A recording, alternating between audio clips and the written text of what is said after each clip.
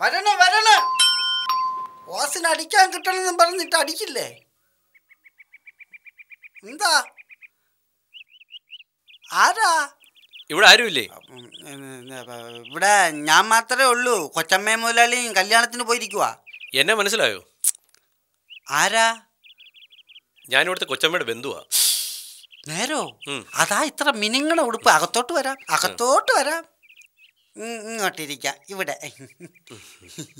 ബാവ എന്തോ? ഓ? മിത്തേജി ഉം. ഞാൻ കുറച്ചാൾ കുവൈറ്റിലായിരുന്നു. ആ. ലീവിന് വന്നതാ. നിന്റെ കൊച്ചമ്മ മുതലാളി ഒന്ന് സഹായിക്കാന്ന് വിചാരിച്ചു. വലിയ ഉപകാരം. മുതലാളി വലിയ കഷ്ടത്തിലാ. ഇവിടെ ആണെങ്കിൽ കടക്കാർക്ക് കയറി ഇറങ്ങി നടക്കാനേ നേരമുള്ളൂ. അത് മുതലാളിനെ പോണാ അയ്യോ അത് കളഞ്ഞെന്തിന് അത് സാരമില്ല സാരമില്ല. ഫോൺ എവിടെയെന്ന് ചോദിക്കുമ്പോ ഞാൻ എന്താ പറയും? അങ്ങനെ തന്നെ കടിച്ചു കയറി തിന്നത്തേ ഉള്ളൂ. ഇതെന്തോന്ന്? ഇതായത് ഒരു പതിനായിരം രൂപയുണ്ട്. ആ. പുതിയ ഒരെണ്ണം വാങ്ങിച്ചോളാം മുതലാളിയോട് പറ. മുതലാളിക്ക് ഇന്ന് ഭയങ്കര സന്തോഷമായിരിക്കും അയ്യോ അത് പൊട്ടിപ്പോവും. സാരമില്ല സാരമില്ല. ഞാനേ അല്ലെങ്കിൽ വേണ്ട. മൊത്തത്തിൽ എല്ലാത്തിനും ഞാൻ ഒപ്പിട്ടിട്ടുണ്ട്. ആവശ്യമുള്ളത് എഴുതിയെടുത്തോളം മുതലാളിയോട് പറ. ദൈവമേ ഇത് ചെക്കല്ലേ? അതെ ചെക്ക. ആവശ്യമുള്ള എഴുതിയെടുക്കാം. ആവശ്യമുള്ള എഴുതിയെടുത്തോളം പറയും. അപ്പൊ ശരി മുതലാളിക്ക് സന്തോഷം. അയ്യോ! ആ കുഴപ്പമില്ല കുഴപ്പമില്ല. പുതിയത് വാങ്ങിക്കാം. അപ്പൊ ഞാൻ ഇവിടെ എടുത്ത് തരാവേ ഇത് ഇതും പോട്ടെ ഇതും പോട്ടെ. ഇതാ ഇതാ. പുതിയ ഡിന്നർ സിറ്റാ. പോട്ട് പുല്ലേ. പുതിയത് വാങ്ങിക്കാമല്ലോ. വേറെ ഫാഷൻ ഇന്നാ. തട്ട്. ആയിരത്തി ഇരുന്നൂറായി എന്നാ എന്നാ പിടി ദൂരക്കള രണ്ടായിരത്തി മുന്നൂറായി ഇതും പോട്ട്. എഴുന്നൂറായി ഇതൊക്കെ കുറെ നാളായി ഇവിടെ. എഴുപത്തഞ്ച് നൂറ്. ഇതിന്റെ പൈപ്പ് അടഞ്ഞിരിക്കുകയാണ്. എങ്കിലും വെള്ളം എവിടെ കൂടെ പോകണം നാനൂറ്. എന്നെ എത്ര ഷോക്ക് അടിച്ചെന്നറിയാം. ഷോക്ക് അടി സ്ത്രീ നൂറ്റമ്പതായി എന്നാ പിടിച്ചോ? പിടിച്ചില്ലേ? പിടിക്കണ്ടേ. ഇതാ മണ്ടൻ ചെറുക്ക ഒരു. വക. പഠിക്കൂല പോട്ട്. ഇനിയുള്ളടത്ത് അപ്പുറത്തിട്ടേക്കാം. എല്ലാം എടുത്തല്ലോ? ആ കളയാം കട്ടിൽ പൊങ്ങണില്ല. ആ അത് വേണ്ട. അപ്പം ഞാൻ പോവുകയാണ്. മുതലാളി വരുമ്പോ ചെക്ക് മാറാൻ പറയണം. കള്ളന്മാരുള്ളതാ സൂക്ഷിക്കണം. കഥയെ കടച്ചേരി. പൂട്ടിക്കോണം. ചെക്ക് ചെക്കിരിക്കുന്നതല്ലേ ഞാൻ. പൂട്ടിക്കോളാം. ഓ. പതുക്കെ ഓ തുറന്നു തരാം ആ. ആ. ഓ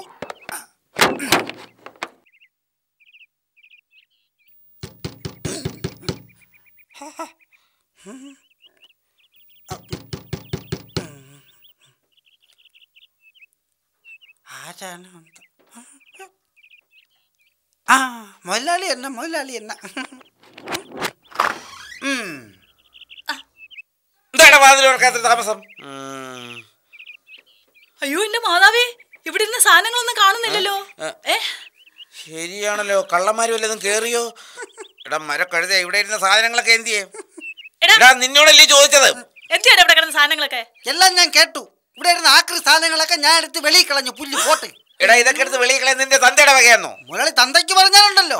ഞാൻ ഈ മൂന്ന് ലക്ഷം കൊണ്ടങ്ങ് മുങ്ങും. മൂന്ന് ലക്ഷമോ? അതെന്താടാ? എന്തെങ്കിലും ഒന്ന് പറയാന്ന് വിചാരിച്ചാ ഈ രണ്ട് വ്യാതാളങ്ങളും കൂടെ എനിക്ക് സ്വൈരം തരണ്ടേ? എടാ നീ കാര്യം പറ. കൊച്ചമ്മയുടെ ബന്ധു കുവൈറ്റിലുള്ളവൻ ഇവിടെ വന്നിരുന്നു. എന്റെ ബന്ധുവോ? കുവൈറ്റിലുള്ളതാ. അതാരാ? എനിക്ക് മനസ്സിലായില്ലല്ലോ. ആ ഇനിയിപ്പോ അതാരെങ്കിലും ആകട്ടെ. ആ ഇവിടെ കിടന്ന ആക്രി സാധനങ്ങളൊക്കെ എടുത്ത് കളഞ്ഞിട്ട് പുതിയത് വാങ്ങിക്കാൻ വേണ്ടി ഇതേ മൂന്ന് ലക്ഷം രൂപയും തന്നു. എല്ലാത്തിലും ഒപ്പിട്ടതാ. ഓ ശരിയാണല്ലോ. മൂ- അയ്യോ അയ്യോ, മാതാവേ. ഇത് എടാ ലക്ഷം കണ്ടോ കണ്ടോ? എന്റെ ബന്ധുക്കളുടെ വില ഇപ്പൊ നിങ്ങൾക്ക് മനസ്സിലായോ?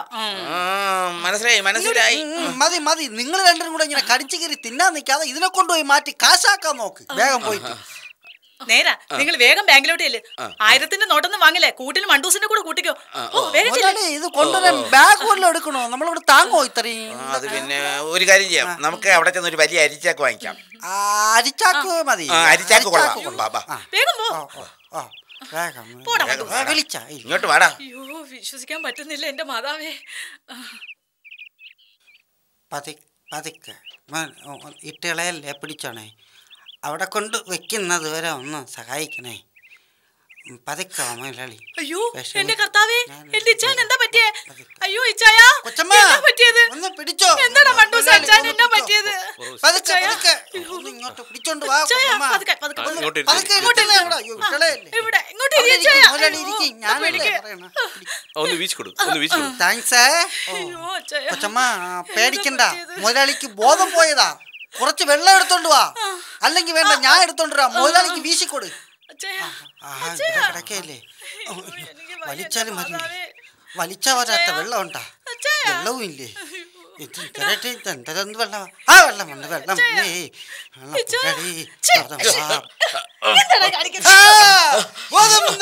മുതലാളിക്ക് എടീ നീ ഒരു ഇരുമ്പലൊക്കെ എടുത്തോണ്ട് വാ. ഇരുമ്പലൊക്കെയാ? കൊച്ചമ്മ കൊടുക്കല്ലേ? ഇരുമ്പലക്ക കൊടുക്കല്ലേ? അതുകൊണ്ട് കൊച്ചമ്മേരെ മണ്ടക്കടിച്ച് കൊല്ലാനാ? നീ പേടിക്കണ്ട. ഇവന്റെ മണ്ടക്കടിക്കാനാ നിങ്ങൾ എന്താ മനുഷ്യ പിച്ചുമ്പേയും പറയുന്നേ? എല്ലാ എല്ലാം ഇവൻ നശിപ്പിച്ച് ഏതോ ഒരു കള്ളം വീട്ടിൽ കയറി എല്ലാ സാധനങ്ങളും എടുത്തോണ്ട് പോയി. ഈ കാലമാടെ അതിന് കൂട്ടുനിന്നു അയ്യോ അപ്പൊ ചെക്കോ? ചെക്കോ എടി അത് കള്ളച്ചക്കായിരുന്നു. അവന്റെ പേരിൽ ഒന്നും ഇല്ലായിരുന്നു ആ, അവൻ മുട്ടൻ കള്ളനാ. ഷോ അപ്പൊ എന്റെ ഉടുതുണി സാധനങ്ങളൊക്കെ പോയോ? എല്ലാം പോയടി. അയ്യോ എന്റെ മാതാവേ. അയ്യോ കൊച്ചമ്മയ്ക്ക് ബോധം പോയേ. ഞാൻ ബോധം കെട്ടപ്പോ നീയും ബോധം കെട്ട. കൊച്ചമ്മയ്ക്ക് ബോധം വന്നേ. കൊച്ചമ്മയ്ക്ക് ബോധം വന്നേ. ദൈവമേ ബോധമില്ലാത്തൊരു കുടുംബം. എല്ലാം നശിപ്പിച്ചിടത്ത് കിടന്ന് സംസാരിക്കുന്നുണ്ടില്ലേ എടാ കള്ളം വന്ന വിവരം നിനക്ക് ഒന്ന് ഫോൺ ചെയ്ത് അറിയിക്കാമായിരുന്നില്ലേ? ദേ ഞാനൊരു കാര്യം പറഞ്ഞേക്കാം. ഒരു കാര്യം പറയുമ്പോൾ ആലോചിച്ചു വേണം പറയാൻ. കാലത്ത് ഒരുങ്ങിക്കെട്ടി കല്യാണത്തിന് പോകാൻ ചാടി ഇറങ്ങിയപ്പോൾ ഞാൻ അടുത്ത് വന്നില്ലേ സംസാരിക്കാൻ. അപ്പൊ മുതലാളി എന്തോ പറഞ്ഞ് അങ്ങോട്ട് മാറി നിൽക്കടാ ഭയങ്കര വായി നാറ്റോന്ന്. ഇത്ര ദൂരെ നിന്ന് സംസാരിച്ചിട്ട് സഹിക്കാൻ വയ്യെങ്കിൽ ഞാൻ ഫോണിൽ ഇത്ര അടുത്ത് വെച്ച് സംസാരിക്കുമ്പോൾ ആ നാറ്റം മുതലാളിക്ക് എങ്ങനെ സഹിക്കാൻ പറ്റും? അതുകൊണ്ടാണ് ഞാൻ ഫോൺ ചെയ്യാതിരുന്നത്. തന്നെയുമല്ല എനിക്കെന്ത് ചേതം കള്ളം എല്ലാം കൊണ്ടുപോയെങ്കിലും എന്റെ ഉടുതുണിയെല്ലാം പശുത്തൊഴുത്തിൽ ഭദ്രമായിട്ടിരിക്കുക എങ്ങനെ ഉണ്ടെന്റെ ബുദ്ധി?